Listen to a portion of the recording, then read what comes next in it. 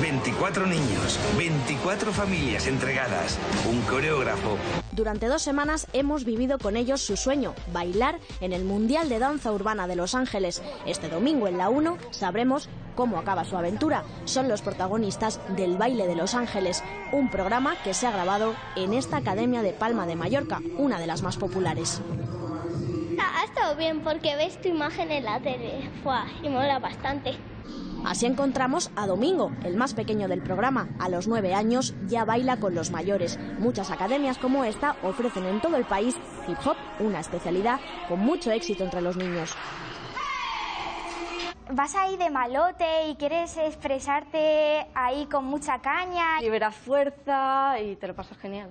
Mucho estilo, muchos sentimientos, amigos, me abro más con la gente. Tiene bastante beneficios, ya no solo el ejercicio físico, que está claro que hace un ejercicio cardiovascular bastante bueno, sino el, la memoria, la concentración, el ser sociables. Tienen responsabilidades, entonces crean, se crean unos valores de compañerismo, de no poder fallar un entreno, no fallar un ensayo por el equipo.